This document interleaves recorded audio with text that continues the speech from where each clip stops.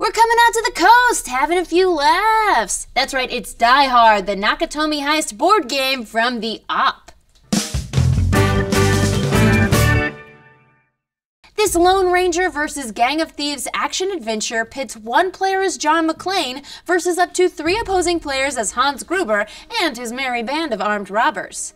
As John McClane navigates the Nakatomi Plaza, attempting to rescue his soon to be ex wife and the hostages, the thieves try to either take John out with a well placed bullet or open the vault lock to get the cash and win the game. Setup begins with team selection. One player takes the role of John McClane and takes the player board and associated action cards, dividing them into three separately shuffled piles based on their act one, two, or three.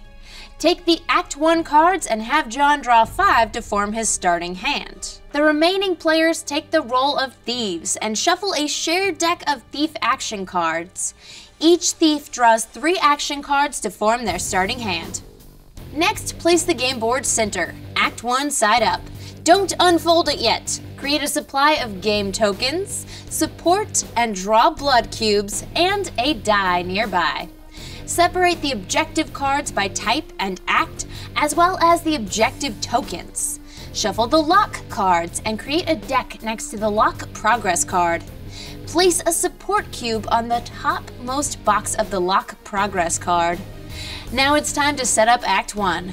First, take the objective cards for the first act and reveal them on the board. Place the ammo tokens and shoes on their respective objective cards. Randomly place the John McClane objective tokens on the red spaces and the Thief objective tokens face down on each of the dark gray obstacle spaces. Place the John McClane figure on his starting space and one thief token on each of the green spaces. Finally, set up the vault lock by drawing two lock cards and staggering them to form a 2x4 grid of numbers. Gameplay occurs in turns, during which John McClane and the thieves each choose a single card to play from their hand.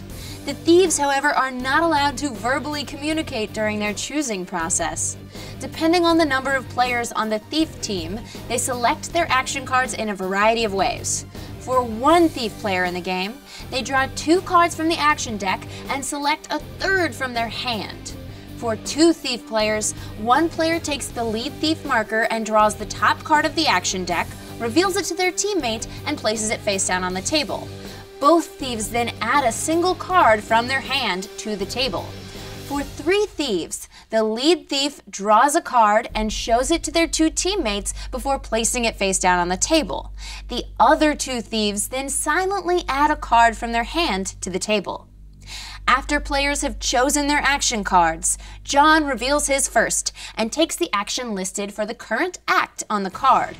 After John's actions, the thieves then resolve their three cards by revealing them and arranging them in order of highest to lowest number on the top left of the card. The highest and lowest values will be used to break through the vault locks on the turn, while the middle card provides the thieves with their actions for the turn.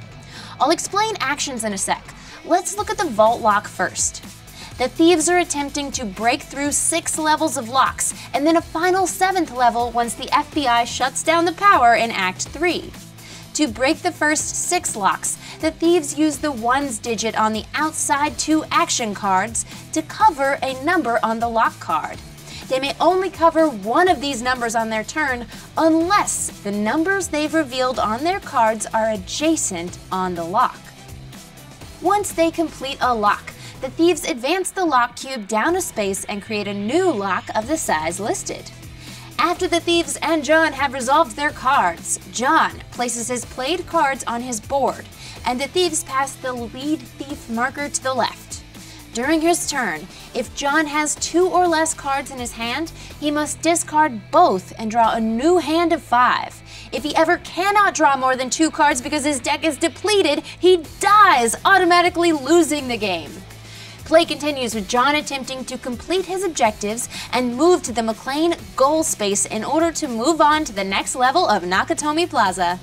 If he does, the next act is set up with a new map, new objectives, and new hazards. Let's take a look at those actions. Move allows the player to move their figure orthogonally up to the number of spaces listed.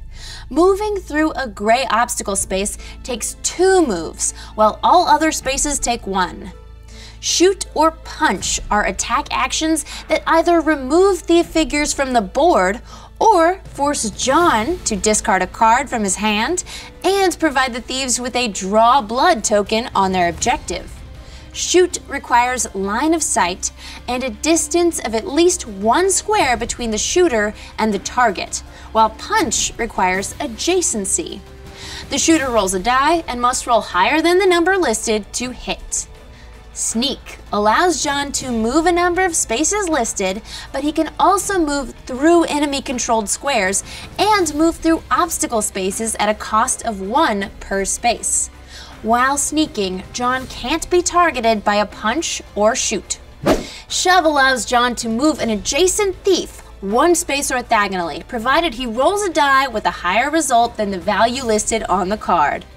Recover allows John to take the top card of his discard and add it to his hand. Support lets John add a red support cube to the radio objective, aiding his attack rolls in future turns. Lock allows the thieves to cover a single numbered space on the current vault lock. Reinforcements is a special action that the thieves may use if they have less thief figures on the board than their starting number for the current act. If so, they may forego all their actions on the turn to discard their middle card and return a thief figure to the board on a green space. And that's the actions. Any action can be replaced with a move one action, like if a team has punch but no enemies are in range. And the lead thief has final say on any disagreements on actions for the thief turn. Play continues through the three acts, with John moving through the plaza and the thieves attempting to stop him and break into the vault. The game ends once one of the following events occurs John McClane dies, the thieves win. The thieves break into the vault, the thieves win. Or, if John can kill Hans Gruber, he saves Holly, the hostages, and wins the game. And that's Die Hard, the Nakatomi Heist board game. I'm Becca Scott, and by the time you've seen this video, I'll be sitting on the beach, earning 20%. You can watch me and my friends play this game and other awesome games on Game the Game, right here on Geek and Sundry. Happy trails.